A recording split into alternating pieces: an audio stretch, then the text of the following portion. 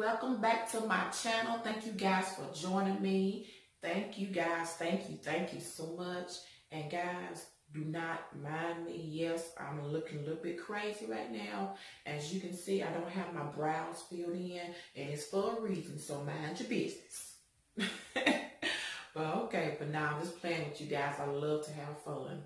But the purpose is the reason why I don't have any brows on because I am going to do a detailed eyebrow tutorial on one of my eyebrows so you can see how my eyebrows are right now and when I get ready to do the very detailed look of it, okay? So let's get into the video.